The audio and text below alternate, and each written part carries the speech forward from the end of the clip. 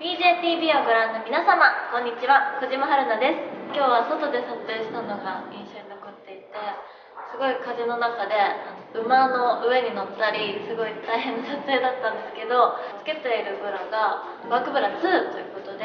本当につけてる感じがしなくて今までもすごい軽かったんですけど外でなんか本当になんか何もつけてないで撮影してるようなすごい開放感のある撮影ですごく楽しかったです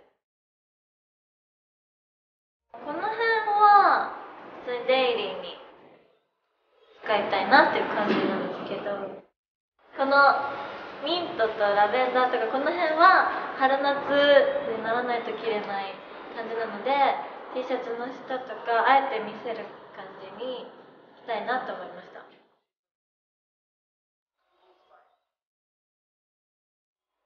なんかやっぱピンクが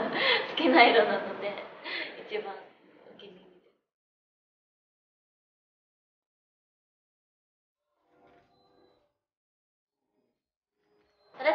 次回の BJTV もお楽しみに。藤間春菜でした。バイバイ。